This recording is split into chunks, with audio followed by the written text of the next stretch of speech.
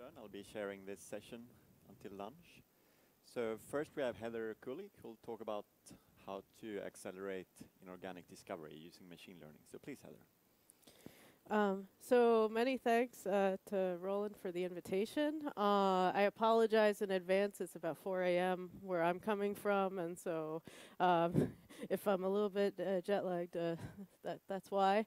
Um, uh, so so it's it's my pleasure to be here and, and tell you a little bit about what my group has been doing in using machine learning for accelerating uh, discovery in inorganic chemistry.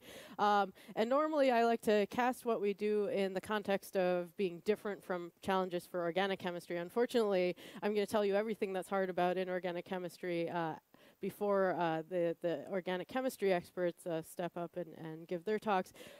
Uh, pleasantly, I think my talk uh, dovetails very well with with uh, our Löwdin lecturer uh, Markus Reiher's work, and so um, I, I, do think he gave a very nice introduction from that perspective. Um, so I will try to go through this quickly to get to some unpublished results at the end. Um, but uh, it goes without saying that in the past decade, we've seen uh, dramatic transformations in both hardware and algorithms that have completely changed the face of, of what can be done with uh, quantum chemistry. Um, and I picked these two years because in 2008, I was still a graduate student. And in 2018, I'm a professor with eight graduate students in my group. So I think about what I could do that does not seem that long ago to me as a student and what my own students could do and things that were would have been completely inconceivable to me as a student are now things that my own students can routinely do. And so where you can see this is heading is that um, this is a nice way to think about generating lots of training data. Um, we also have new ways, and, and Markus already talked about things like uncertainty quantification, new ways to either improve the methods themselves or understand where they fail. Um, even things like uh, range separated hybrids were not quite even mainstream back when I was still a student. There have been really dramatic uh, transformations. So I'd say We've got a couple of more orders of magnitude gain in terms of how fast calculations can go. Uh, we've improved accuracy dramatically, but then you can quickly realize that it's not all uh, roses and flowers. Uh, the, the, this does not mean that my students are somehow writing papers 100 times faster than I could. It does not mean that they are 100 times better at, at new chemistry, and so there's something else missing. So people are going to keep doing this. This describes the research of, of many hundreds of theoretical chemists. Um, and, and what we'd like to do is position ourselves in a place to maximally benefit from this, but think about other problems. And you'll hear about this more today, but you can think about the amount of chemical space um, that's out there, and there's lots of back of the envelope calculations of this. What we know about this space is that we know almost nothing. And we can think of this space as containing all of the most exciting materials, catalysts, therapeutic drugs that have yet to be explored. And this is not a computational problem, this is a science problem. So this, this is saying that no matter how hard every person who's currently employed as a material scientist, chemist, engineer, no matter how hard they work, if they keep working the way they work, they will not uh, ever touch even a, a fraction of the space. And so what we've focused on for the past five years is answering the question, what do we need to accelerate this exploration, specifically with a computer and for inorganic chemistry? Um, this is... Uh, um, and, and there are a couple things that we can think about doing. I'm not sure if this is, I think this is just missing from the slide. Yeah. So we haven't fixed PowerPoint in that time. Um, so, so one of the first things I absolutely wanted to do is when I was studying small uh, transition metal complexes, I would build them by hand. So one of the first things we wanted to do was we wanted to automate. I never wanted my own students to sit there building a molecule by hand. Um, I won't talk about it much in this talk, but think about knowing prediction accuracy and sensitivity. Um, I want to know if I found a molecule that seems like it's the best molecule in the world that's going to solve all the problems. Do I think that just because I used a certain DFT functional? Um, I want to be able to go and overcome the fact that even if calculations are 100 times faster, that's still not fast enough. So machine learning for us is a part of a broader effort uh, to think about how do we get um, through this, this space. And then maybe it doesn't really matter how big the space is if we know where we need to go in the space. And how do we start to think about revealing design rules now that we can look at thousands and thousands of molecules on a at a time, as opposed to, say, a handful of molecules what can what kind of design rules can we start to reveal looking at large scale data sets of molecules? Um, so I will skip through this quickly in the interest of time, but I live in this uh, I, in this reductionist world where I'd say that this molecule here is uh, caffeine, and knowing the smile string tells you an awful lot about the molecule. Um, so for instance, you can have a pretty accurate force field that can give you lots of properties, uh, even before people ever started talking about machine learning as, as the phrase to use, there were already physical chemical QSPRs.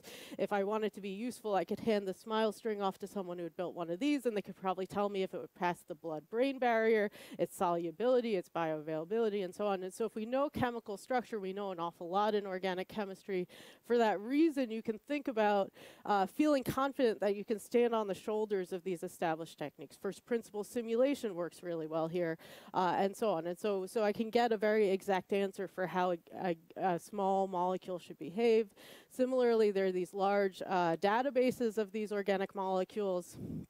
Um, and you could think about, well, this is not 10 to the 60th space, but this is an awful lot of space of interesting molecules. Um, and the concepts of molecular similarity are well defined here. Um, so what makes a molecule behave like another molecule? Maybe I don't need to simulate all of these 2 million. I can focus on the uh, 10,000, say, most dissimilar compounds. Um, and there are lots of open source tools for thinking about doing this. So a lot of, a lot of what you would want to work with already exists in, in tools such as RDKit and OpenBabel. So this is RuBiPi here. RuBiPi is not particularly my favorite molecule, um, unlike caffeine and uh, to uh, straightforwardly transform structures. Even if I could uh, transform the structure into an inorganic complex, I would want to do it in an oxidation state and spin state dependent manner. You've already heard how DFT can be unreliable for these types of systems.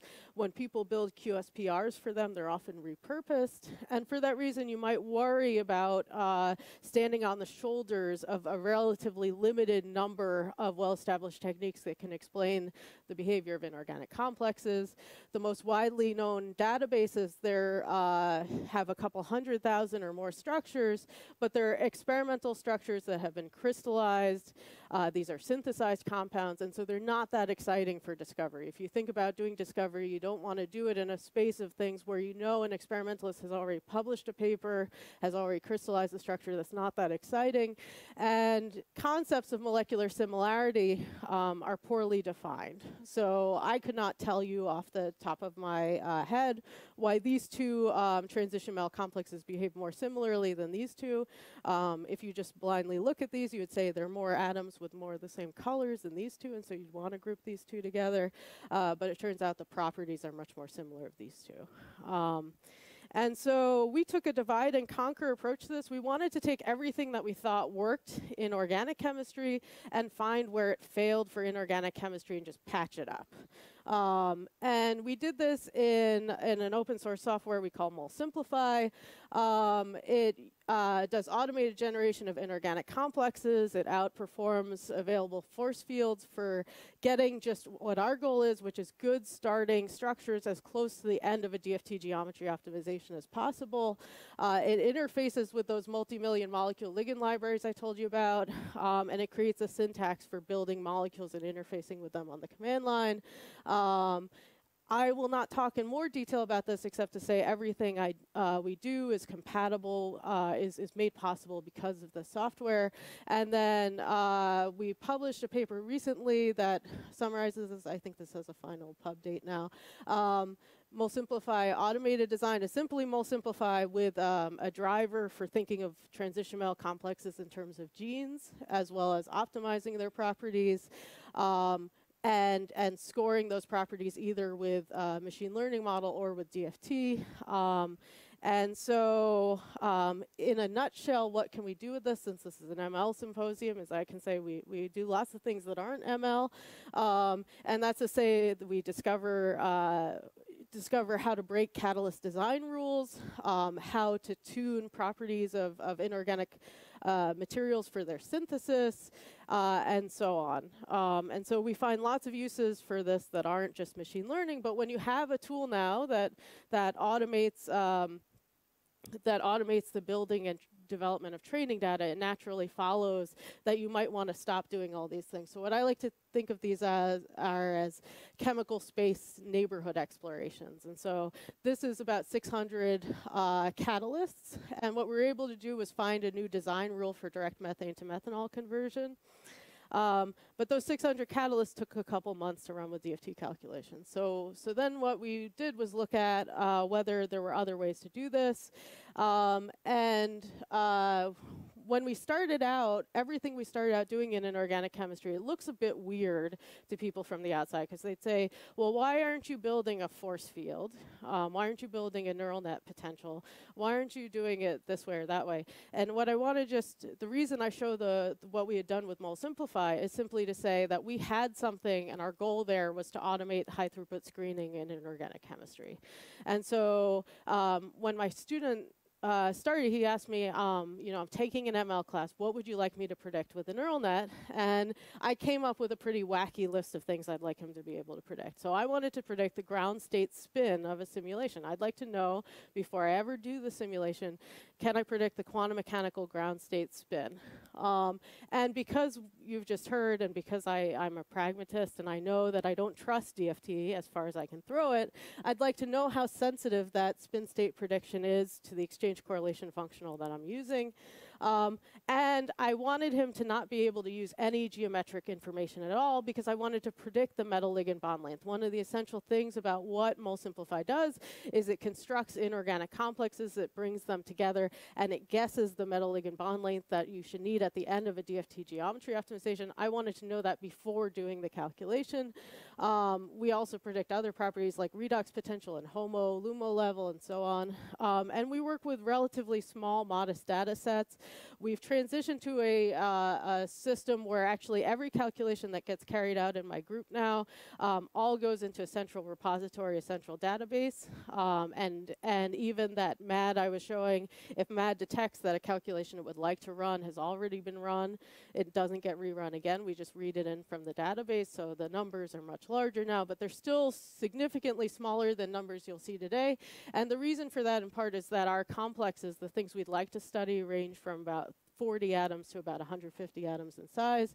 Uh, we started first with neural nets. Um, and one of the things we did, and I'd like to come back to it at the end, but I always run long, um, is we used regularization uh, with varying dropout realizations um, because uh, this this both um, this both allowed us to avoid overfitting, but also gave us an estimation of the uncertainty of our ML models. Um, and this technique is called Monte Carlo dropout. It's some nice work by Gal and Ghahramani. Um, we used a very conservative train test permit, train test partition, and I will come back hopefully to these uncertainty measures at the end. Um, and so we started with this very naive approach. We've since uh, progressed to much better approaches, but I'd say the very naive approach um, works embarrassingly well. So lots of times we're unable to out outperform this. But for inorganic chemistry, the way this worked was we came up with various possible feature sets. We assessed them with lasso, then we used them to train uh, more sophisticated models. Uh, if they didn't improve lasso errors, we didn't keep those. So it was a very crude uh, feature selection technique. And those features largely came from me um, as a person who had been studying inorganic chemistry for years. Things I knew had to matter. And I would tell my student, oh, this has to matter. Um, and he would he would disagree with me. He would say, no, it, it doesn't actually matter. Um, and so we ended up with things like the, what is the nature of the metal? What is the nature of the direct coordinating environment? Uh, what is its bond order? What are features of electronegativity of those surrounding atoms? Um, we tried to move to more and more non-local features. I insisted the rigidity had to matter, so we ended up with a truncated Kier shape index. The key thing to note in all of this is that um, uh, none of this uh, included any geometric information at all. Um, and so we threw away anything that re really required global information because it wasn't going to be a transferable model. We ended up with this relatively modest uh, set of uh, features. And um, the reason why this works, why throwing away whole complex information works, is because inorganic chemistry is incredibly metal local. So um, this shows a PCA and a whole molecule representation, and this shows two complexes that are 37 or 150 atoms in size. They cluster um, clustered by size, they are very different, but in property, colored by property here, you can see that they have almost the same exact spin splitting. Um, and so this inherently metal local uh, representation actually does quite a bit for us. Um, and so the overall result was that it worked. Uh, so it was uh, got the correct ground state in 97% of cases. The 3% where it was wrong were cases where the two spin states were so close um, that that if the wind blew one way or the other, the spin state, the ground state definition would change. Um, the RMSE splitting was three kilocals per mole, and that certainly is not state of the art. That's not the best answer you'll you'll hear, but for us it was good enough because we didn't trust the training data more than three kilocals per mole in the first place. Um, and I used to say this is as good as an undergraduate in inorganic chemistry would know, um, but I don't really actually know. So I haven't done a survey, but I would bet you finish your undergraduate degree in inorganic chemistry, you probably still can't tell me the ground state of 97% of all inorganic complexes. So it could predict bond lengths. Um, it could also do all of this at, at arbitrary functional choice, so we could know how we would change our prediction and um, change our functional and change our prediction.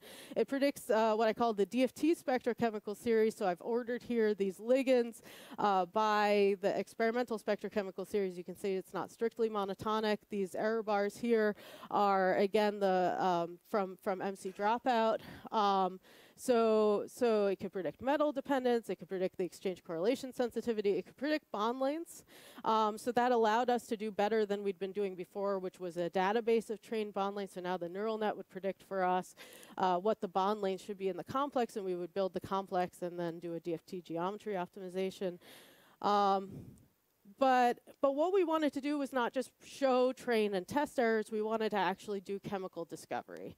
Um, and that's what I'll talk about for the last bit in my talk today, is how do we actually know, once we've trained a model, that we can use it for discovery. Um, and so I went to my student and I said, we have to do something outside of what we just a partition of train and test. I want you to go into the Cambridge Structural Database and find uh, some molecules we've never studied before. And he said, why do we have to do this? No one is doing this. No one does this when they publish an ML paper. And, you know, luckily he was still early in his PhD, so he, he eventually relented and we, we did this.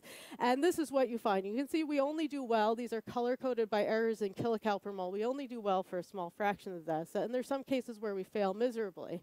Um, if I put on the MC dropout error bars, um, these error bars don't tell me anything. So the error bars are the same size on the on the high error cases as in the, the low error cases.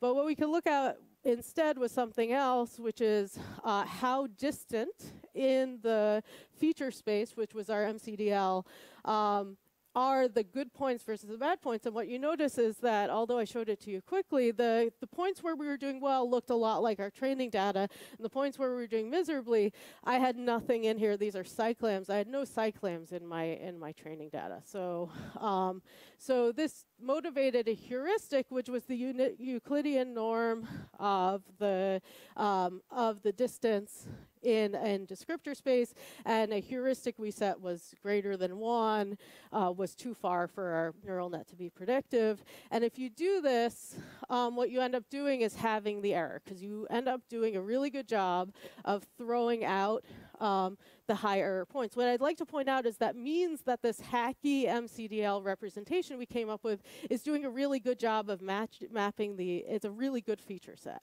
So for this type of problem, for spin state ordering, even though it's this very sparse metal focused feature set, the fact that um, in, in feature space, large distances maps well onto cases where the properties can't be predicted um, does mean that there's some magic that comes about when you have, um, when you have this feature feature set. And um, I will show what happens when we, when we lose this.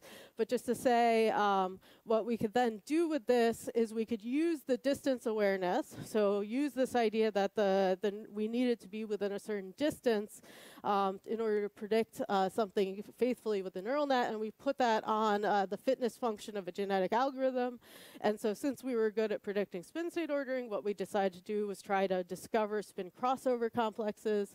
Um, and we also could do this with DFT, but it would take us hours for every fit fitness evaluation instead of a second with the neural net we now had trained. Um, and uh, and so this is a small design space we're now doing this with. We did this trivially in one paper I showed you in passing with 20,000. Um, we're doing this now with 10 million molecules at a time, but the um, but in this particular case it was only 5,000. Um, so we were lazy, I guess. And so um, this this graphic is is is a little bit unfair to DFT, um, just to say in the amount of time that we could uh, find many many leads from the neural net, we would be still waiting um, to get one result out of DFT. And we really did do this. So we did uh, we tried to use our guess geometries with single point DFT, and that was about five days for a GA run versus uh, 20 minutes for the neural net. And the reason it even took us any time because at the time we were building each molecule and force field optimizing it before we were scoring it. Uh, we no longer do that. Um, and so the result is that we we have a we have an erosion in error. So we do have um, we have about an average error of uh, four and a half kilocals per mole, um, but we're able to confirm about two thirds of the complexes the neural net thought were spin crossover is still spin crossover with with DFT. I will show why this was so hard in a moment. Um, one thing to note is that this is a t-SNE of the space that we were working in. And so what we're looking for, this is a hard problem to solve because we're looking for these white crevices. That's where the spin crossover complexes are. And then the black overlay here is where we're not so confident about the neural net because the these are high distance compounds. Only 2% of the space had ever been seen before by the neural net. So almost all of it was completely unseen compounds. Um, and so the reason that this was actually hard was because we started all of these compounds between negative 5 and 5 kilocals per mole based on the neural net. And then we wanted to say that we validated as a spin crossover complex if it stayed within negative 5 and 5 from DFT. Um, but you can see we started some of these um, my my student clearly didn't juice the um, didn't juice the test set in any way. We started some of these at 4.8 kilocals per mole or something, and so we would need the error to be assigned this way in order to stay in this box, right? So we we could have made this easier for ourselves, but you can see that very small errors. Um, uh, for modest uh, compounds could be observed, as well as the distance heuristic didn't always work if it was chemistry that was inherently missing in our model. We had very large errors for heteroleptic compounds where we had seen the two homoleptics and the heteroleptic combination behaved very differently. Um, and so this would be stuff in an active learning mode that you would actually just go ahead and ingest back into your data set, and that's the, the way we do things now. But just to say that about 80% of all of our uh, compounds were within two times the baseline of our test error. Um, and we made this test hard for ourselves based on where we picked the initial data to be. If we'd started everything out at zero kilocals per mole, that, uh, that two-thirds validation I mentioned probably would have gone up to around um, 100%. Uh, so I'd like to move a little quicker because I wanted to show at least something new. Um, but this is just to say we knew that this representation wasn't a very systematic way to do things. Some of our features were more local, and we really had nothing sort of in this mid-range.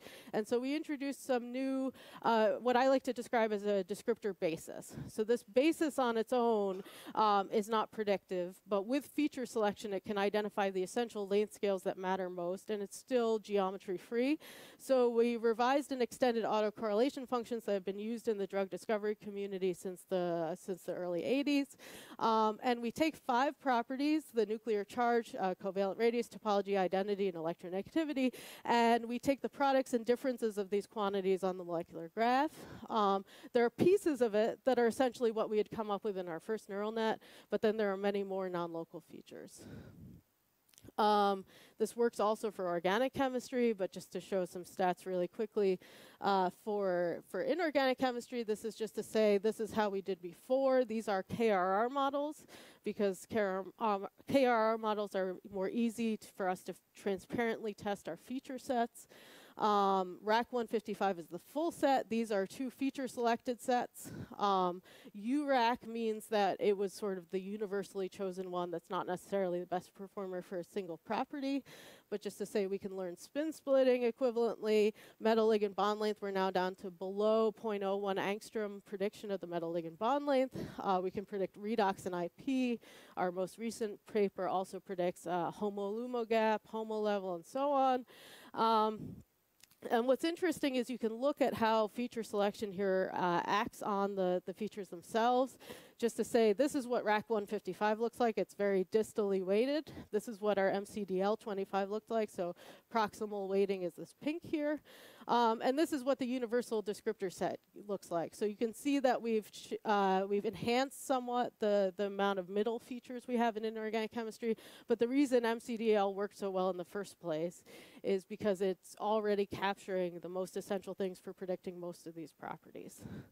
Um, so this is just to say that when we apply feature selection on the RAC feature sets, we can then see that certain properties are uh, more metal local. So we focused a lot on predicting spin. What this map is showing when the atoms are big, the more they matter more in our features. And so this is showing that uh, spin splitting is in fact very metal local. It's basically telling you that ligand field theory works. Whereas properties like redox and bond length become increasingly non-local and increasingly steric in nature. That doesn't mean that one feature set can't be predictive, but it does give you a roadmap for orthogonal design. You can think about designing features, uh, designing atom properties close to the metal as uh, determining spin state, and atoms further away as, as tuning redox. Um, but I have literally one minute to come back to uncertainty, and I rushed straight through it so I could. Um, and uh, this is a a RAC features uh, neural net. Um, and what we wanted to do was come back to uh, answering the question of how do we address uncertainty. So uh, we had decided that MC dropout was not enough. We had favored when we had an MCDL uh, feature set, we had favored this, this heuristic of the distance in, in feature space.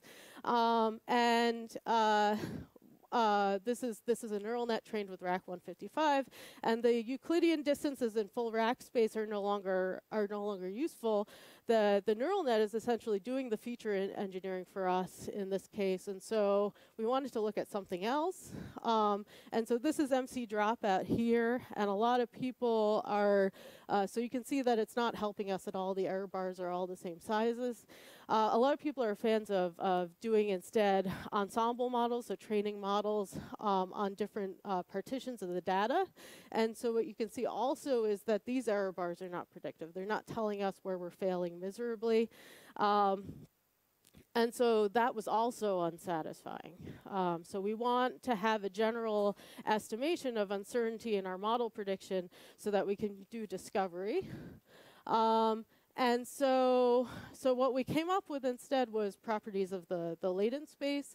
Um, and the result was that we were able to have the error um, by working in distances in the latent space.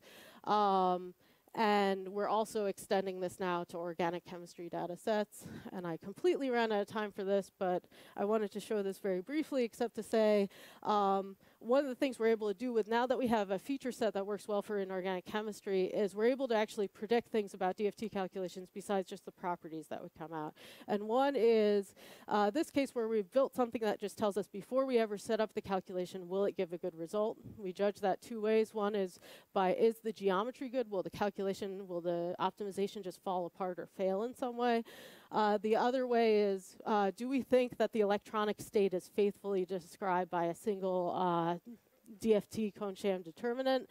Um, and, and in doing so, we're actually able to predict with about 90 to 95% accuracy uh, when a calculation will give a good result. And this moves us towards a, a new way of using machine learning for automation.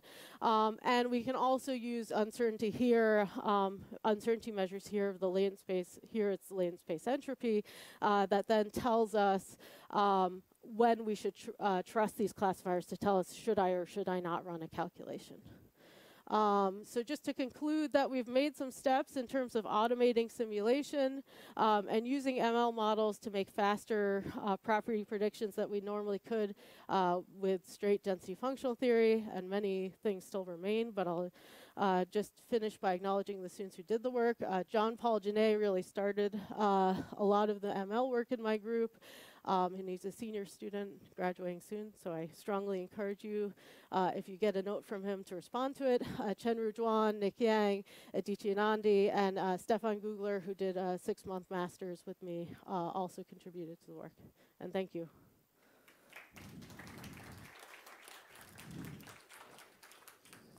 Thanks a lot, Heather. Do you have any questions?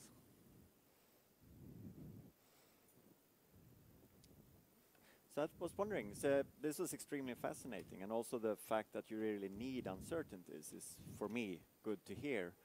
We, you use PCA and to mainly visualize things, I guess, and you use neural networks. So have you looked at using the autoencoder? Um, so mostly when we when we try to visualize what's going on with the neural networks, we usually visualize the latent space properties directly in t-SNEs. Um, and so, uh, oh my goodness. And so, um, and so, um, so that has worked, does worked reasonably well for us, but uh, we, we do wonder about cases where two dimensions are not enough.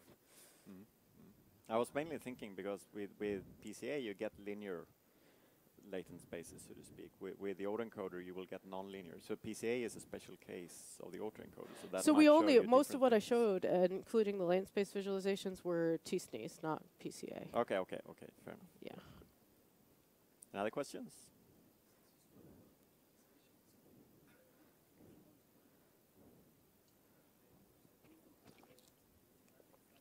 Mm-hmm.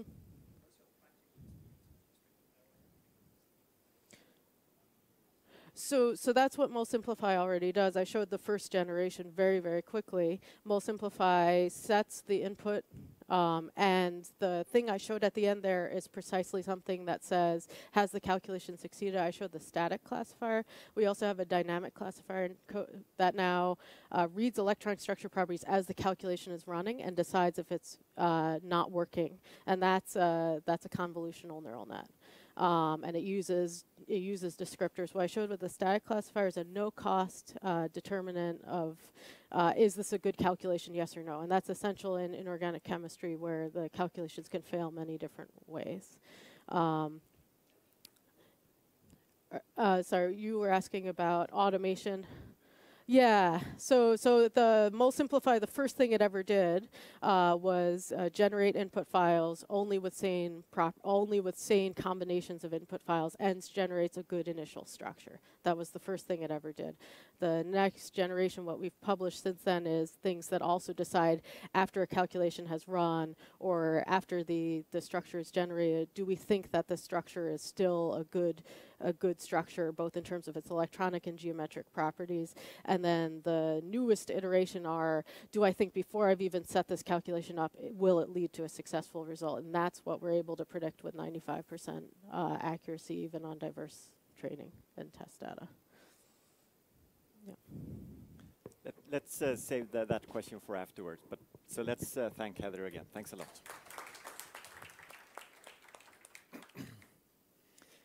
All right, so the next speaker is Anatole von Lilienfeld from the University of Basel in Switzerland, and you've all seen what he will talk about, so welcome, Anatole.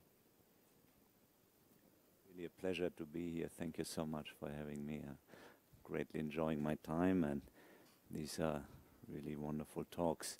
So I'm uh, pleased to tell you all about, about some activities going on in my lab, and we are also interested in chemical space. and. Um, uh, I'd like to start out with uh, a mentioning of a machine learning uh, special issue in the Journal of Chemical Physics, which was co-edited also by Matthias Rupp and Kieron Burke, um, and there are many great uh, contributions from the community on this uh, burgeoning upcoming field. Um, I have a little uh, table of contents here. I'd like to briefly motivate why we do what we do. Um, and then I'd like to tell you about four papers, and uh, which are recent. Uh, the first one is already published in, in this issue, but the other papers are still uh, under review. Um, I hope to get through these. Now, uh, the people uh, who did the work are Bing Huang and Felix Faber and Anders Christensen. Um, Matthias Rupp also used to be here, so uh, but he will tell you about his own work himself.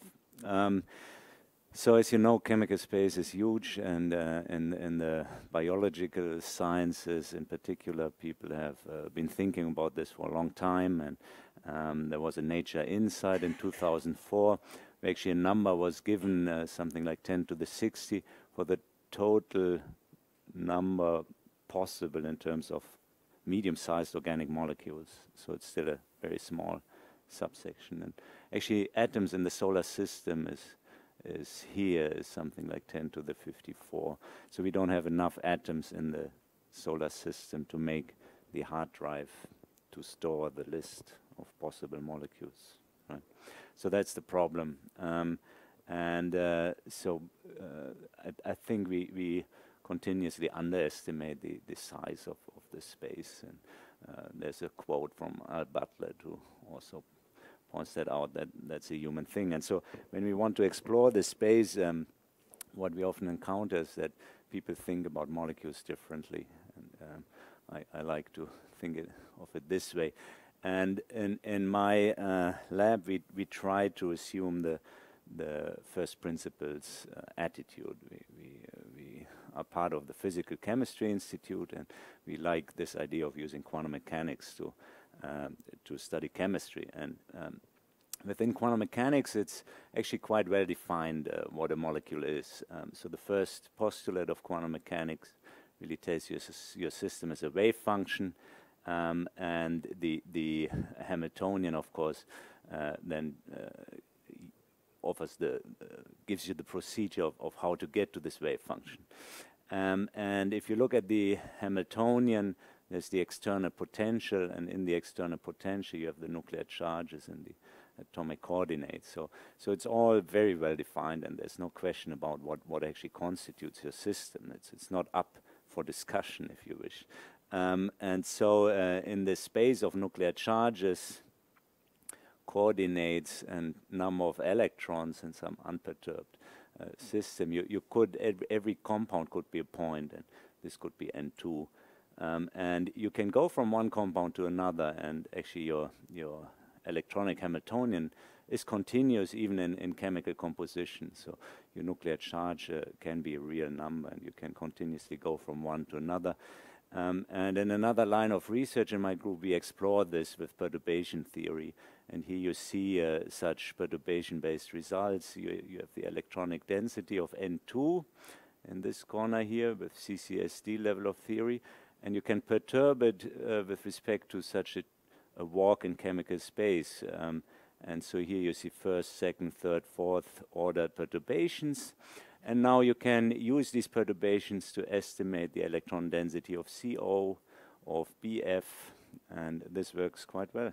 So um, from quantum mechanics point of view, this chemical space is, is actually a, a good thing or, or well defined, I think. And so if, if you uh, choose not to use quantum mechanics, right, then of course you, you can make such a choice. But here I, I like this quote, we can ignore the quantum reality, but then you cannot ignore the consequences of ignoring it.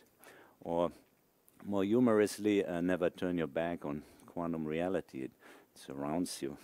Um, so in quantum mechanics, you all know that we have these hierarchies of methods, uh, such as force fields, semi-empiricism, Hartree-Fock, MP2, uh, quantum Monte Carlo, or coupled cluster, or, or the DMRG.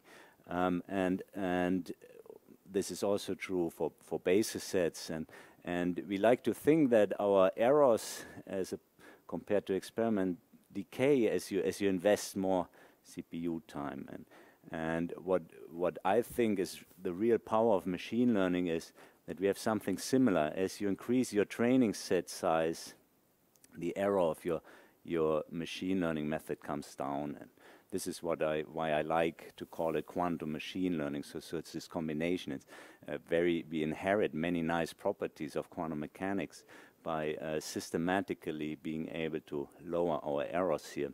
And uh, Vladimir Vapnik in the 90s and others actually showed that your prediction error decays inversely with training set size.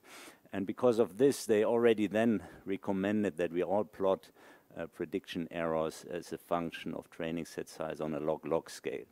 And um, like this, we can easily compare the performance of different methods, and we can uh, situate ourselves well in this universe. So um, we really use these uh, learning curves a lot, and so the, a lot of our um, machine learning research is about how can we lower these curves or improve the slope Um, and recently, the, I, I, I, published a little perspective on this. If you want to hear more about my attitude towards this, so uh, this was the introduction, and now I'd like to tell you about our work on representations. And this really started in, in 2011 when I organized a, a, long program at the Institute of Pure and Applied Mathematics at, at UCLA. And Klaus uh, Robert Müller came uh, together with his postdoc Matthias Rupp, and uh, they are machine learning people. And uh, so we, we started to, to discuss these things. And um, the, the question then uh, uh, they basically told us, well, it's all well defined, uh, so it's a really simple problem. You can use kernel ridge regression, which is sort of the, the, poor man's machine learning method. Um, and we can we can just learn this. The only thing we need from you is a representation. So how, how do we measure similarity? In other words, some sort of quantitative procedure to establish a chemical space. So every compound here is such a point and then how do you define these points, right? That's that's really the question. And and so what I then proposed to to Matthias actually was uh, let's use this Coulomb matrix, uh, which is a distance-based matrix. On the off-diagonal elements, you have the inverse distance, and um, uh, as as a nominator, you have the nuclear charge product. And on the diagonal, you, you put the nuclear charge to the power of 2.4, which is a rough estimate of the energy of the free atom. And so this really uh, corresponds then to the complete graph of any given configuration. It's, it's the simplex in, in your geometry. And that is a unique representation. It's, it's, it's complete. Uh, you don't lose any information. And for that reason, um, there's no noise, and, and you expect your learning curve to systematically come down uh, to arbitrary accuracy as long as you increase your training set size. And so Matthias programmed this, and, and we could see that for organic molecules, indeed, your atomization error uh, would come down in the, the manner we, we expected. And we reached 10 kcal per mole at 5,000 molecules. And so this is on par with GGA DFT. And uh, so this really encouraged us, and, and we wanted to continue this. And um, since then, uh, a lot has happened, um, and uh, we now have a new data set. It's called the QM9, uh, which, which was published in 2014. It contains 134,000 organic molecules um, with various properties. And on that data set, this Coulomb matrix has this learning curve for the atomization energy. Um, um, more recent uh, adaptation of the Coulomb matrix called the bag of bonds um, it's just bagging entries or elements from the Coulomb matrix gives you this learning curve. Um, so something improved. Um, now we were wondering what, what is it? How can we really improve this in a rational way? And uh, here's a little experiment. If you want to learn a Gaussian function shown here in red in the inset, using as a representation a linear function, or some other function, right? You can ask this question, what happens to my learning curve? Actually, if you use a quadratic function, also shown in the inset here, you don't have learning. And one the, the reason for that is that this function is not unique. Um, clearly, as you provide this as an input, um, your, your machine will not know if you're referring to this segment of the curve or to that segment, right? So there's a noise level. No matter how big your machine, no matter how large your neural network, you will never be able to improve this. Um, and so this issue of uniqueness is, is really important. And uh, in, in molecules, you can actually see this. This is an example of two molecules. If you um, arrange them in certain geometries, for instance, in planar NH3 or, or in a tetrahedral NH3 arrangement, um, you can have the distances such that all the interatomic distances are the same in, in both sets. And, and so then you cannot distinguish them anymore if you have a pairwise representation.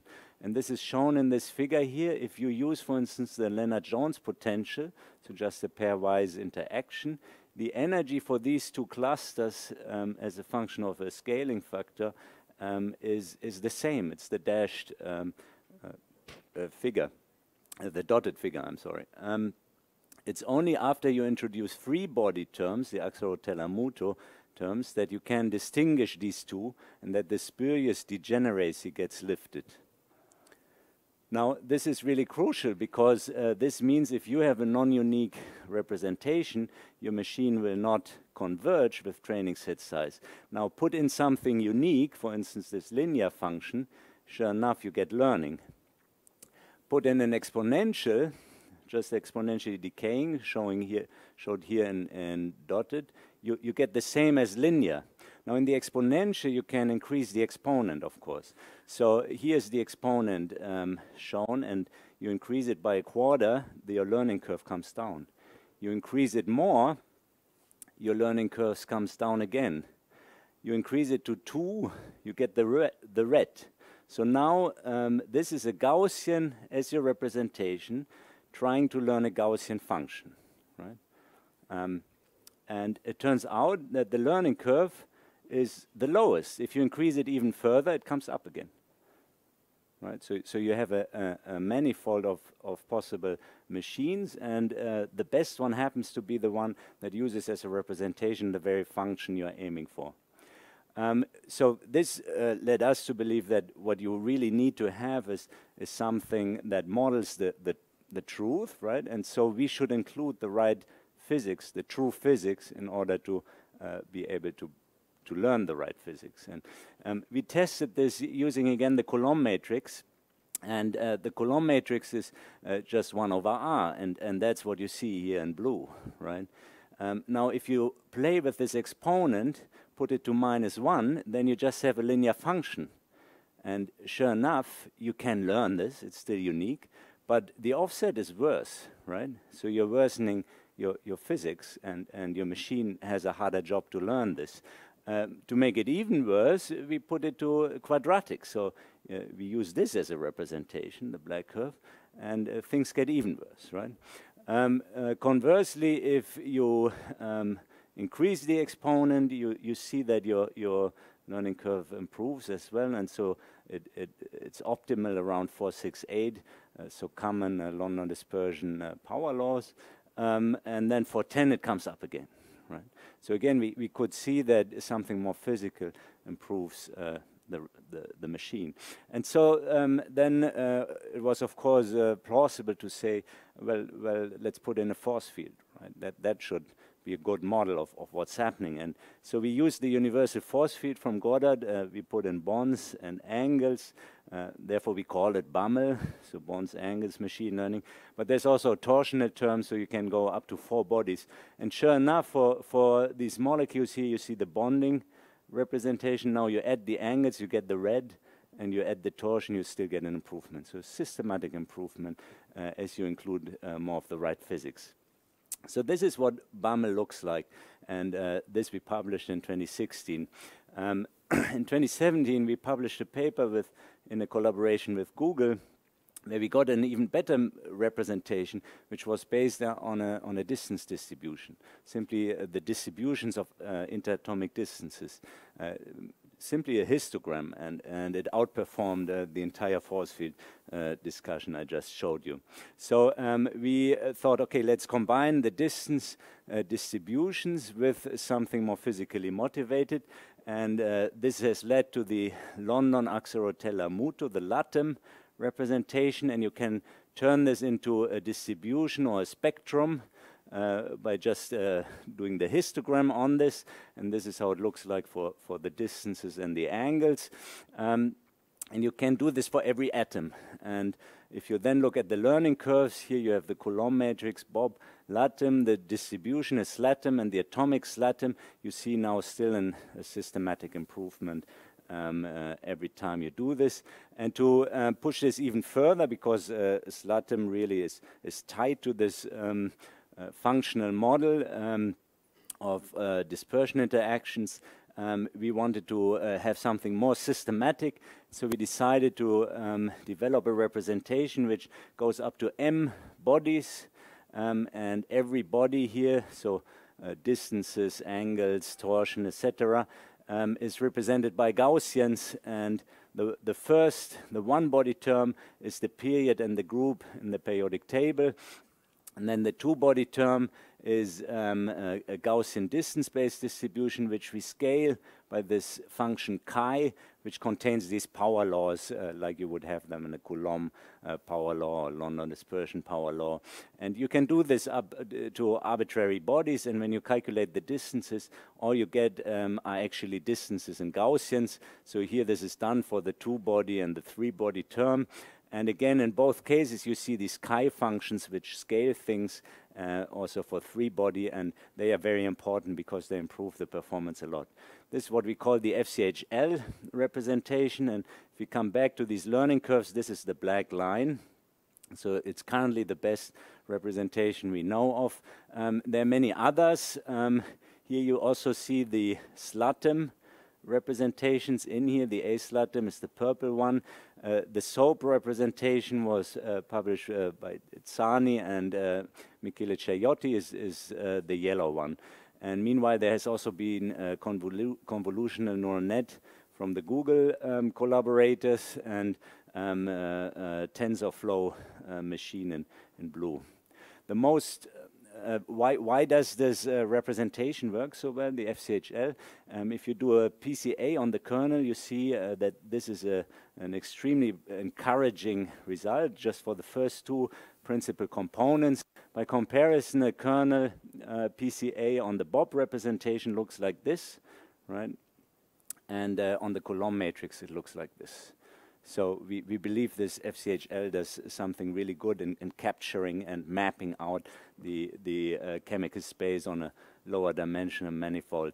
Um, the most recent results are now shown here, and you see all the all sorts of institutions have, have been contributing, and we are all approaching this, this sort of minimum uh, uh, model you, you see here. And so this triggered uh, our interest in actually launching a, a, a competition or, or, a challenge. We call it the QM9 IPAM challenge. We're looking for a model which uh, reaches chemical accuracy with just 100 training instances. Um, now the panel is a bunch of professors and everybody committed uh, to donate $100 um, if any professors in the audience who wish to join this panel, please uh, let me know. Um, obviously, uh, it, it, the incentive is the more professors there, the sooner we will have uh, uh, uh somebody who, who will put forth such a model. With this, I'm, I'm uh, done with the representations, and I'd like to go to this multiple level approach. Um, uh, Markus Reiher mentioned before that he had an error estimator um, of his DFT uh, uh, predictions, and uh, this goes in the same direction. If you think of uh, Pople plots and and uh, the model chemistry, you know uh, that in, in terms of basis set size and in terms of correlation uh, treatment, we, we, we believe that you can approach this exact solution um, and the question is how, how can we get there combining all uh, the different um, levels of theory.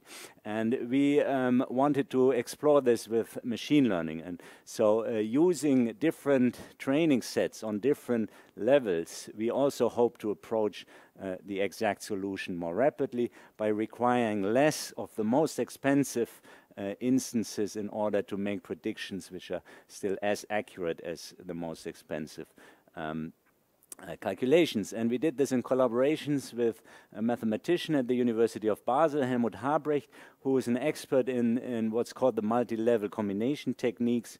Uh, so we call it CQML.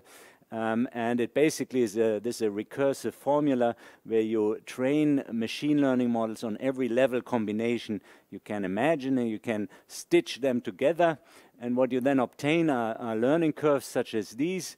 And in particular, uh, look at the 3D models. So the 3D models uh, exploit electron correlation treatment, basis set size, and chemical space. So that's why we call it 3D.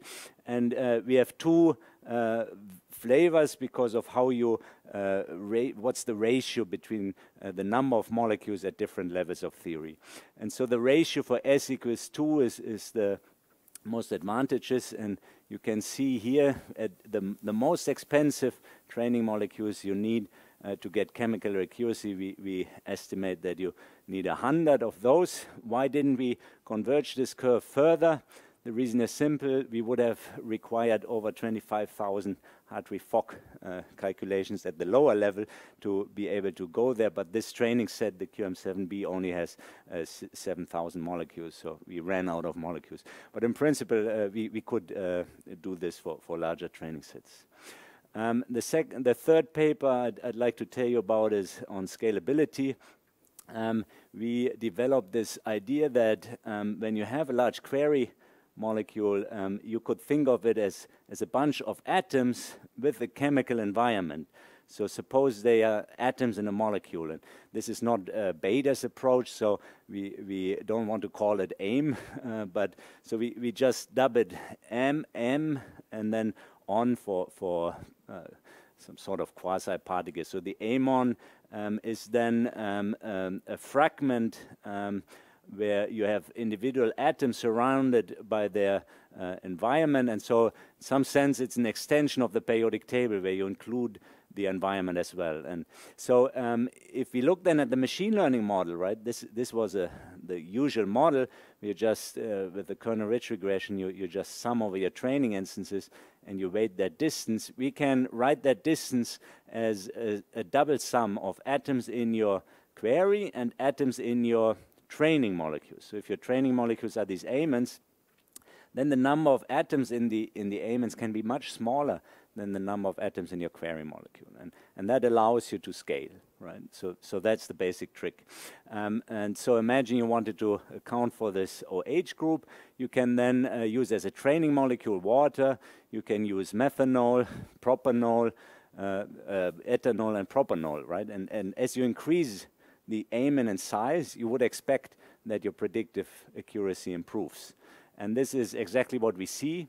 Um, here you see for various properties, machine learning predictions, and you see the deviation from the target property, from the target molecule, as a function of number of amons and size of amons. So the little number here shows you number of atoms in the in the amons. We go up to seven atoms in the amon. This molecule has has nine atoms in total. And you can do this for all sorts of properties, right? And, and you see a quite rapid convergence.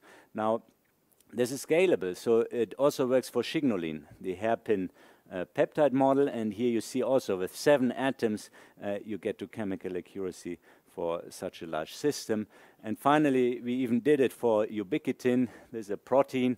And I just checked our numbers again. Um, so the reference here is a, is a, hybrid composite method recently put forth by, by Grimme et al.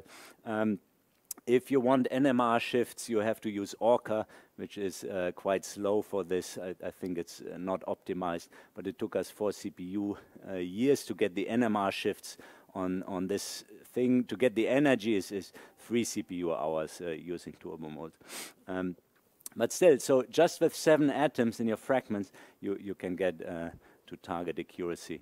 So um, we like to think of this as, as, the DNA of chemistry. And why is that? If, if you think uh, about letters, um, they form words, which are the building blocks for uh, a sentence, and out of that you get meaning, right? Now, atoms, they build up DNA, and DNA gets, uh, defines a gene which has some function.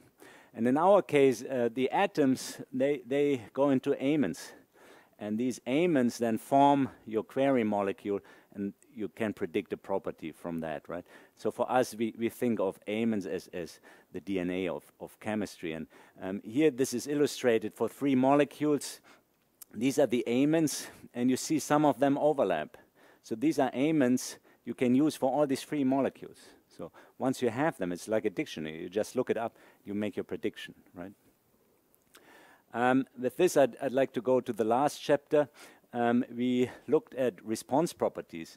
Uh, within kernel-ridge regression, your energy is just this uh, matrix product of kernel with the alpha, um, the, the regression coefficient vector. So if you have some differential uh, operator here, which works on your energy, this propagates through to your kernel. And you can write um, then your loss function in the usual way. You write it out, um, and then you solve for your alphas, and you get this product of these two matrices. Um, and we can identify these matrices. Um, the first one contains uh, a product of the derivative of your kernel matrix with respect to your differential variable. This is this eta. Uh, the transpose uh, times times uh, itself again. And here you also have the transpose times the derivative of your reference property.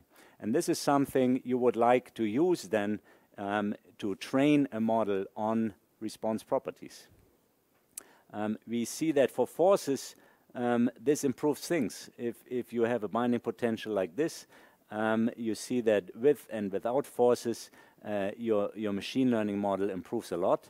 And we did this for, for a couple of data sets, and you see nice learning curves with improved models. Um, also here you see much improved models for forces. So uh, this, with these you, you can uh, get uh, geometries and relaxations. And here you see a combination of Amons um, predicting this large molecules and uh, using the force machine, you see that as a function of training set size, your normal modes become uh, increasingly better, right? So you converge in all your uh, configuration and degrees of freedom, your, your accuracy. Now, forces are not the only differential operator. There's also something called an electric field with which you can derive, and, and then you get a dipole moment. Um, of course, you, you saw that the derivative in your loss function um, contains, you, you have to derive your kernel with respect to the variable. If your electric field is not in your kernel, this derivative is going to be zero. So it's, it's not going to be meaningful. So you need a, a, model, you need a representation that accounts for all variables, including the electric field. And so we updated our representation, the FCHL, to contain also classical dipole moment. And using this you, you can get um, the dipole moment of a molecule in a field. Here's the field rotating, and you see with the representation we can capture it. And also the learning curves in QM9 dipole moments improve a lot. Of course, you can put these things together and actually learn a, an IR spectrum of a molecule by increasing training set size on dipole moments and normal modes. You converge uh, towards the MP2 prediction. This these developments are in the QML code, which is on the GitHub, um, available for everyone. And with this, I'm at the end. I thank you for your attention. so while we're switching computers, we can take one or two quick questions, perhaps.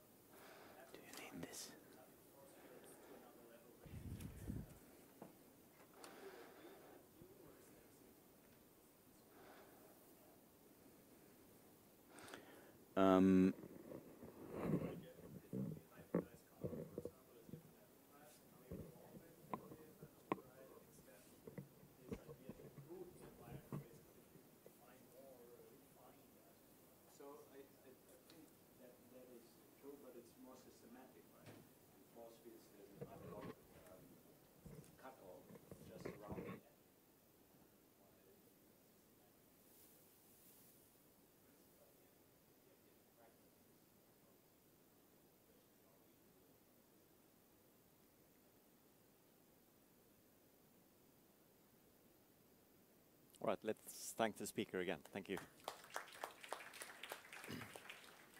All right, the last speaker before lunch is Maria Chan from Argonne National Laboratories. Thank Please. you. Thank you very much, uh, Roland and uh, Morgan, for uh, organizing this session. Thank you for the invitation. Uh, I am not a quantum chemist. I'm not a chemist of any type. Um, so you'll hear about something slightly different. I'll also talk about experiments. As far as I know, I'll be the only one talking about experiments. Um, so I'm going to be doubly weird. Um, so what I'm going to talk about, oh, first of all, let me um, give you an introduction. Um, I'm from uh, Argonne National Lab, which is in Chicago.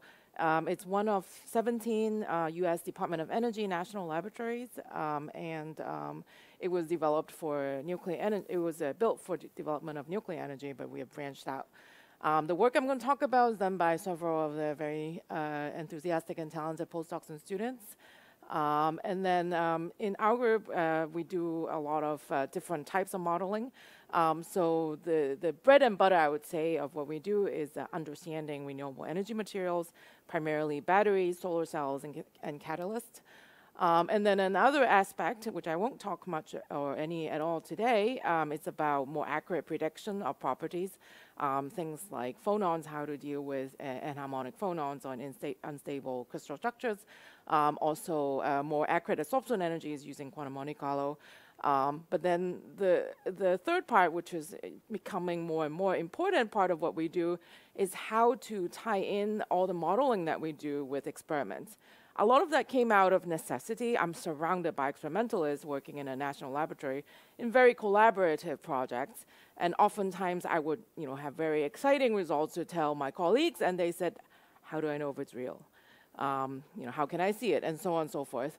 Um, so it becomes more and more important for us to actually try to connect more closely what we do uh, with um, what the experimentalists actually measure, and uh, increasingly we use machine learning for that. So what I'm going to talk about today is one specific example of that problem, uh, which is how do we know uh, what are the structures under measurement in the experimental system, uh, the arrangement of atoms. So in the experiments, um, characterization experiments in particular, um, there is a, usually a, beam that's shown on the material, electron beam or X-ray beam, and you get a signal out of it. Um, a lot, about you know, 70% of the time, um, uh, it takes weeks, months, or maybe even years for the experimentalist to figure out what that signal actually means precisely. Um, so the problem that we have is actually how to do this inversion, how to go backwards, taking the signal that they measure directly and using atomistic modeling and first principles modeling to get the atomistic structure that are under um, the sample. And we do this for a wide variety of different characterization experiments. So this is the alphabet soup. Um, you know, you get used to it if you talk to a lot of experimentalists.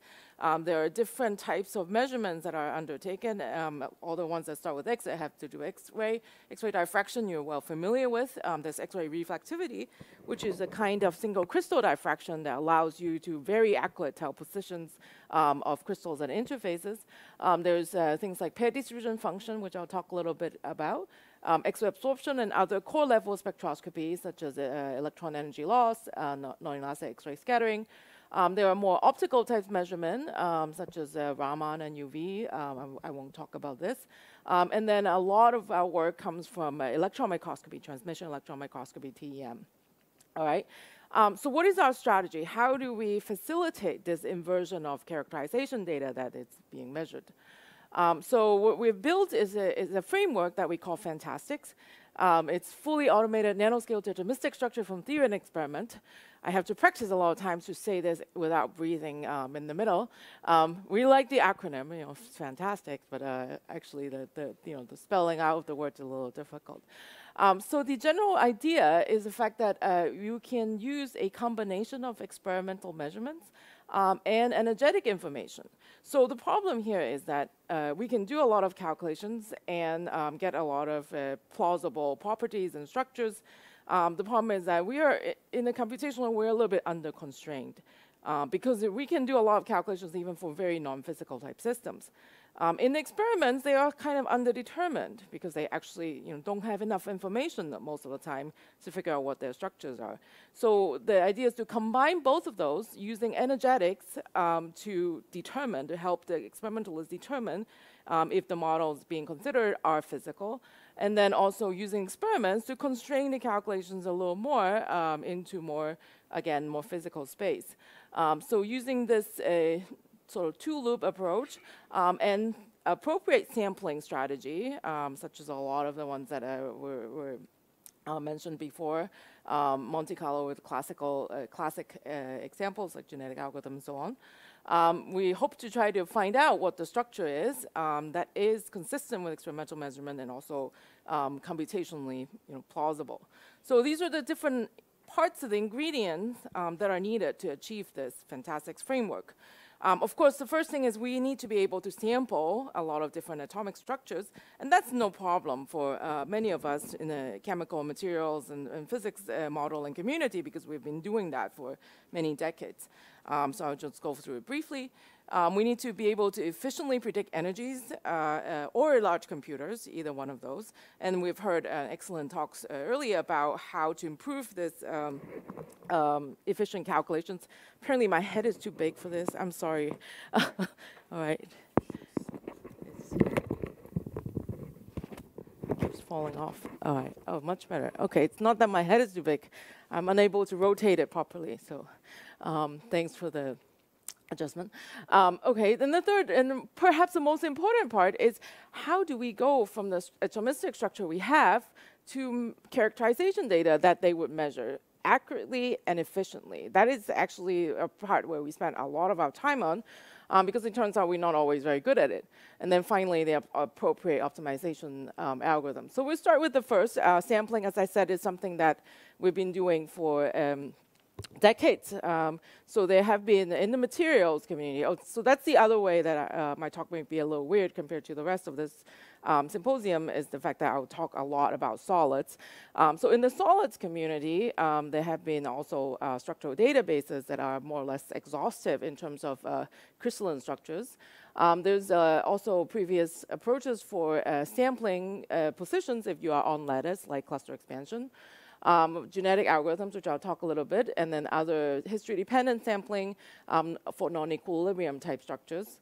Um, so what we do uh, for a lot of nanostructures is genetic algorithm, and many of you would be familiar with it, um, but in case some, some students are not, um, the general idea is that uh, is borrowed from biology. Um, suppose you have a large num number of different nanoclusters, which in this case is very similar to a molecule.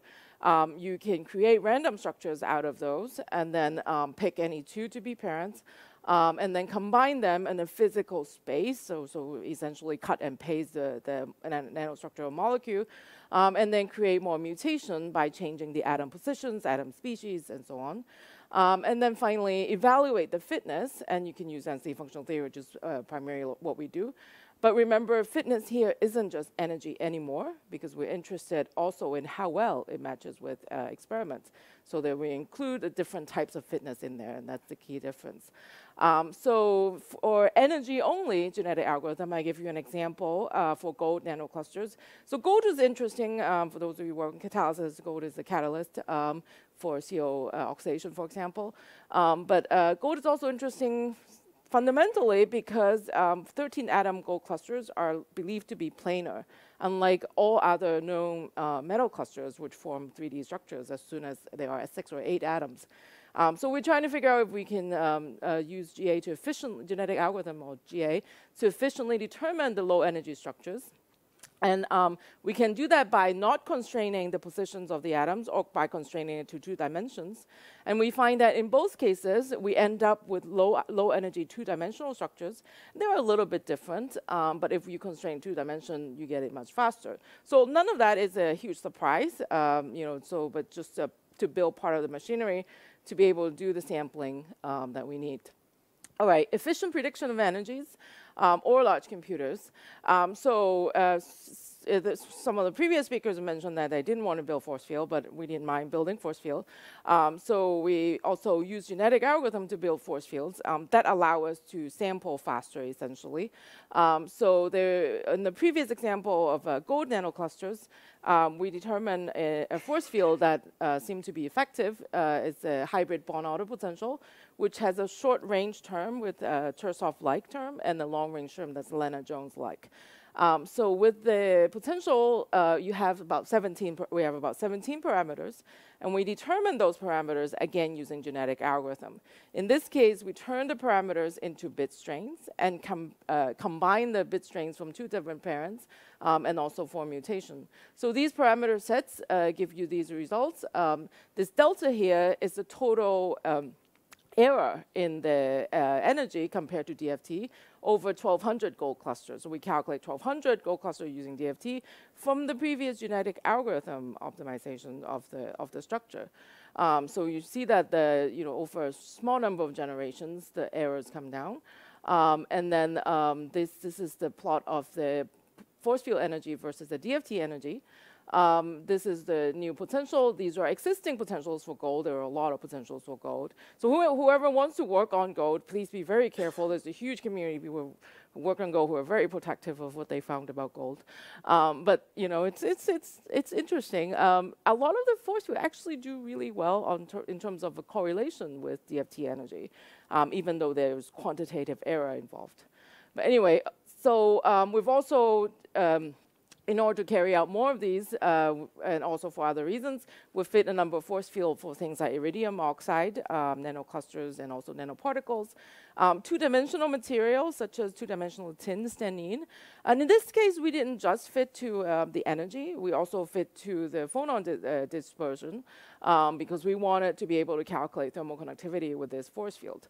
Um, so now we've had about a dozen systems where we have successfully used the genetic algorithm to fit uh, force fields. Um, and then we've convinced ourselves that we are able to do that for further systems of you know, reasonable complexity. Um, so now we think we can efficiently calculate energies. We also have um, larger and larger computers, and then we're able to scale um, the code to, to run in parallel. So that then comes the, the key part, like I said earlier. Um, how do you uh, calculate characterization data, um, not just uh, um, um, accurately, but also efficiently. Um, so then we run into, again, a, a, different community of people who have been doing characterization data calculations, and those are the experimentalists. Um, what, of, what one thing I found about experimentalists is that they really like their GUIs. Um, so this is, for example, is a, a X-ray diffraction refinement um, code that's used by thousands of users, um, and it's based, it's entirely GUI based. So you enter um, the structure, you know, fill in the little boxes, and then um, you enter different parameters to fit, and then you click the button and you wait, you know, about 30 seconds, and it'll give you the results. Um, and and if you think about this type of framework, it's very difficult to do any kind of automation. So one of the things that we had to do first is write a scriptable version of this code. Um, and this is sort of similar to little, some of the other stories where the technique to calculate the, the data is, is well known, it's, it's there. Um, but the, the code being used is not very scalable, and we had to make that more scalable. Um, uh, in another vein, um, if we want to calculate X-ray core level spectroscopy or electron core level spectroscopy um, that measures the excitation of core level electrons, um, we had to um, use um, higher order calculations such as the Bethe-Salpeter equation because DFT, of course, is not accurate, but some of the uh, more uh, simple approaches like multiple scattering.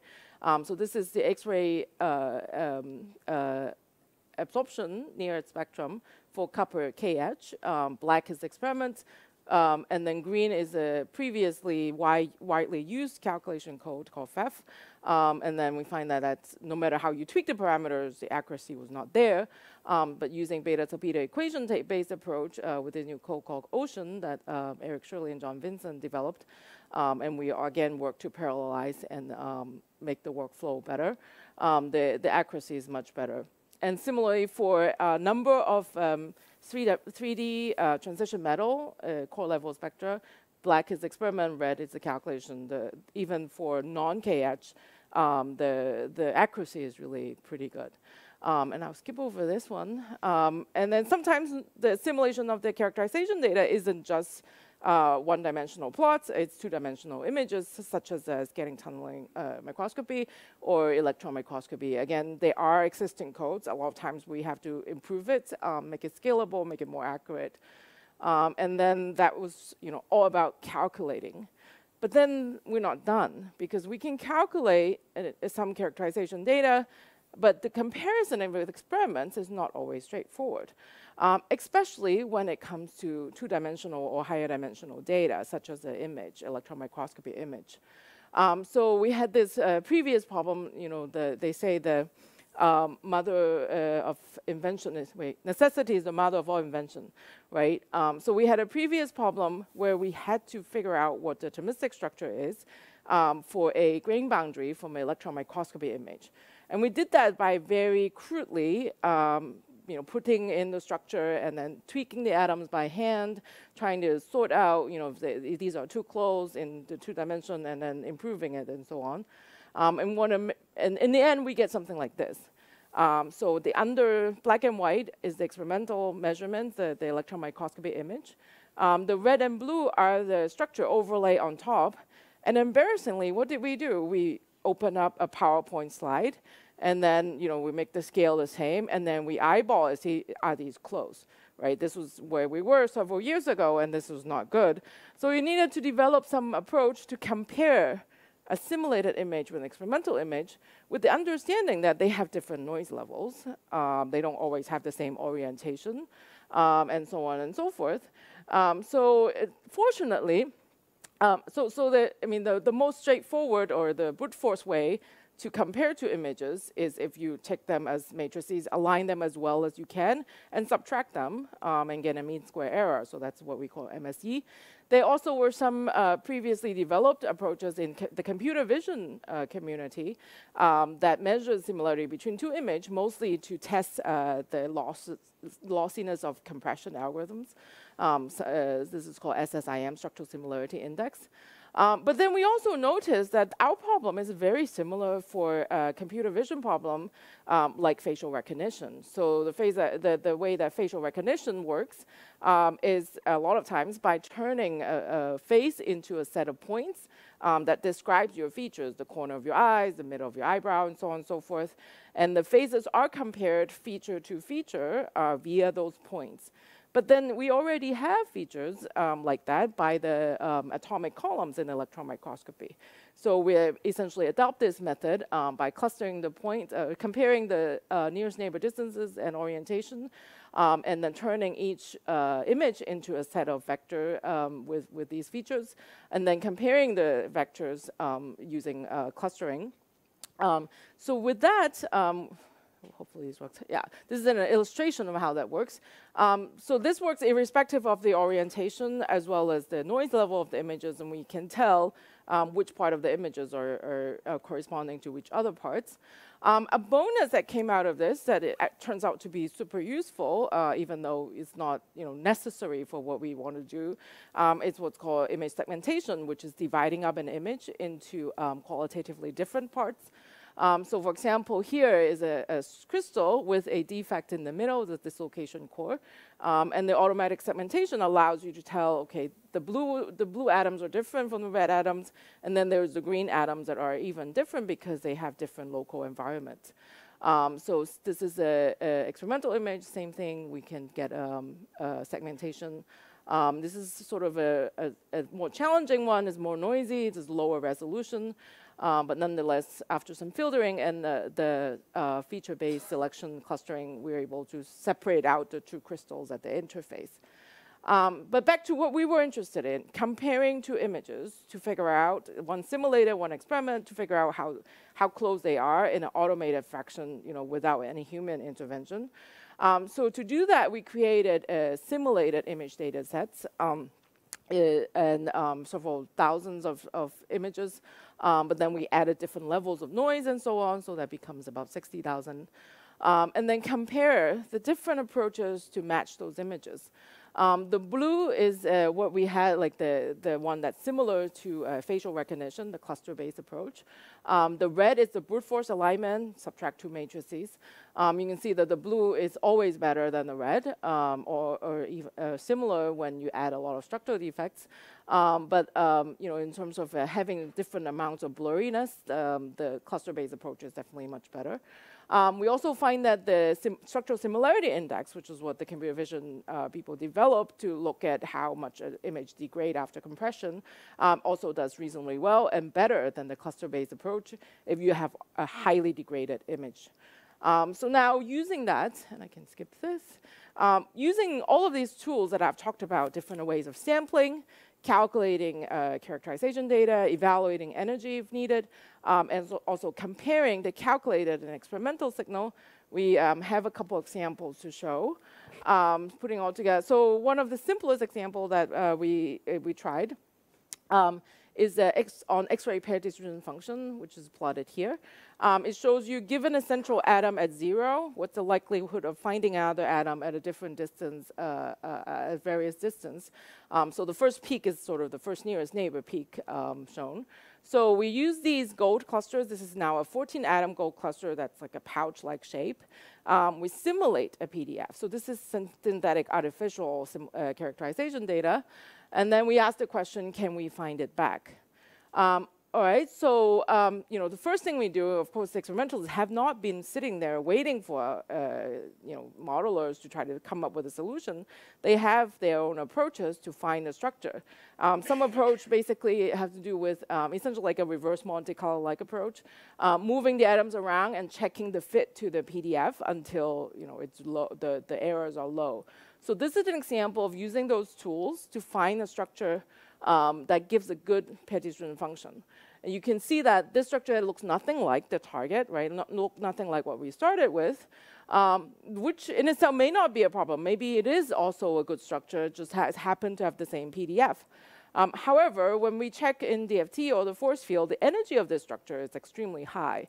So that means it's like it's probably not physical, even though it matches the PDF. And this goes back to the problem of underdetermination from the experimental data. You just don't, there's not enough information in the PDF alone to tell what structure. Um, and then um, similarly for DFT, um, and we actually use PBE for these gold clusters because it was surprisingly shown to correspond the best uh, to coupled cluster data for eight atom gold clusters. Um, and um, so this is PBE without spin orbit coupling. Um, we find that a lot of structures actually have very similar energy. If we look at energy alone, um, in fact, these two structures that look very different have exactly the same energy to three uh, decimal places in PBE. Um, so we have the same problem. We can't tell which of these structures should exist, you know, even um, uh, with reasonably accurate methods. Um, all right, so what we do is take these two um, examples, these two gold clusters, um, lowest energy and also higher energy um, cluster, and then we put it into a, um, a multi-objective optimization algorithm using genetic algorithm. Um, so what that means is that we don't combine the two objectives. We allow the exploration of the both objective space. Um, and then we find the non-dominated uh, solutions um, at, at, the essentially the Pareto front. But um, when you have a target structure um, that is you know, optimal in both, then very easily we find that point. Um, it's the lowest in energy, also best fit uh, to the PDF. Um, but however, uh, when you have a structure that's not, that is uh, the PDF is of this structure, um, but it's much higher in energy. These are in EV scale. Um, much higher in energy, we are still able to find it, and, and also several others along the Pareto front. Um, so that was an example with synthetic data. What about real data? What about real um, experimental data? So this is an example, again, that I showed you earlier of an interface um, taken with STEM with their um, noise and everything um, putting into the FANTASTX framework uh, with the image comparison tool that uh, I've talked about. Um, what's shown here is uh, animation of the process of taking two pieces of crystal. And what we're really interested in is uh, the structure at the interface, which is the one that's most ambiguous. The lower right is the experimental data, and you can see it's not sort of clear-cut dislocation cores like you would expect of typical uh, grain boundaries. Um, and then this is sort of the simulation. At first, it goes faster because uh, more atoms are being uh, sampled, but then later on, the, the region um, that's being sampled is, is lowered. What's shown here is the combined objective um, of both the energy and match to the image.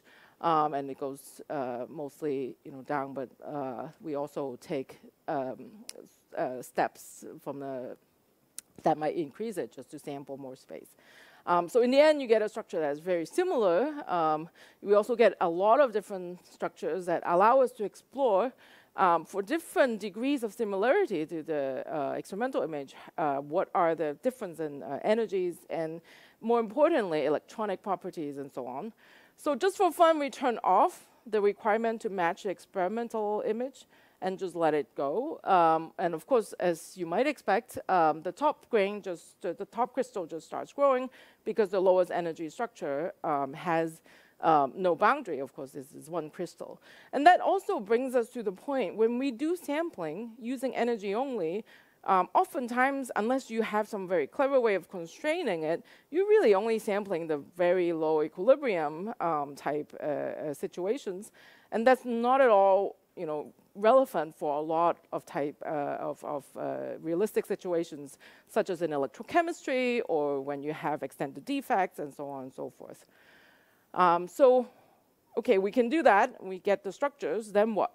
Right? We don't want to be, a, as an earlier speaker mentioned, we don't want to just tell the experimentalists what they already know. They said, you know, this picture looks just like the picture I took, so what? Um, so one of the things that we can do with the 3D uh, atomistic model is to be able to do material design, like uh, previous speakers have talked about. So in the case of the defects in this uh, grain boundary, or this, this extended defect we talk about, we can put in different types of atoms um, to try to passivate the dangling bonds, and this is for photovoltaic, um, photovoltaic um, applications. Um, and that's not all. Um, another approach, another reason that we want to do this is to allow, um, and in previous we could talk about real-time um, calculations. What we want is real-time inversion um, because experiments are being done and, and a lot of times these experiments require billion-dollar equipment and the experimentalists have like three days or seven days to do it. if the data is not analyzed until two months later, you know, they can't adjust their strategy. So what we want to do is to be able to tell, um, in this particular example, water is being driven out of a crystal in a tunnel, um, and they take X-ray diffraction measurements. Um, with this tool, we allow we can allow them to know immediately, or you know, within minutes or hours, um, what the changes are in the crystal um, in terms of uh, occupancy of uh, oxygen sites and so on um, that they weren't able to tell before. And then finally, in a related way, um, help identify things that they didn't expect um, doing synthesis, for example. This was an example uh, using Raman. Um, there was a database that uh, uh, lists um, the Raman spectra of different crystals, um, and then uh, our colleague uh, synthesized vanadium sulfide, VS4, um, but then didn't find the same peaks um, it turns out using these calculations that, that that peak is most likely from some type of impurity, but by being able to do the calculation, um, you know, sort of in reasonable amount of time to fit the uh, experiment as well as having reasonable um, um, structure, structural energy, we're able to tell, you know, not just rely on existing database um, and, and, you know, identify new, new phases. All right, so, um, so in conclusion, uh, I think I'm just on time. Um, we talked about this particular problem of trying to invert characterization data, um, trying to find where the atoms are given the experimental measurement. And we use um, atomistic modeling, both DFT and also uh, some empirical, uh, empirical potentials um, to, to help that process by using uh, multi-objective genetic algorithm and computer vision. Um, in the process, we also developed some approach to get more accurate or more, more efficient energy evaluations, such as force fields. Um, so this work was funded by the Department of Energy. Uh, we are a user facility. That means that um, anyone who's interested in the world, uh, who's do open science research, can apply for time. Uh, we have a small cluster, a smallish cluster now, about 3,000 uh, cores, but we're think we are planning on a, a, an expansion. So if anyone's interested in computer time or any of the previous um, computational abilities, or you know, if anyone's doing experiments, any kind of um, experimental uh, facility, we are certainly open and um, happy to entertain. Thank you very much for your attention, and I'd love to take any questions.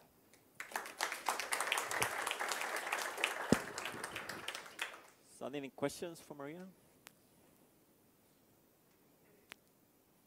Everyone wants to eat. It's very important. yes. Yeah. Yeah. Yeah, yeah.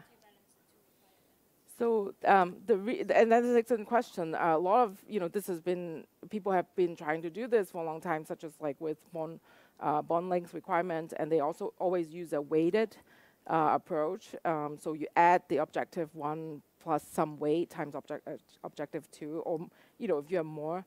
So this approach has this problem that the answer will depend on what your weight is.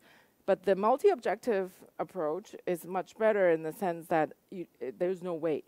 So you explore the space. Um, we weigh the, I mean, we don't weigh, we bias the search towards the lower left corner essentially for both objectives. Um, but we don't, we don't just uh, try to look for one objective. So the sampling occurs over the space, just biasing towards the lower left. And once the sampling is done, we look at the Pareto front. So all the solutions that aren't bested by another solution in both objectives um, and then we look at those, and those are all the possibilities, essentially. Yeah. So it's in a one-shot approach without, you know, considering all different weights. And um, in fact, people have been interested in using this now um, after discussion um, when you have two objectives that are two different types of experiments. So people have like X-ray and neutron diffraction, um, and they were weighting it before, and they run into problems also. So, yeah. All right. All right, let's uh, thank the speakers again.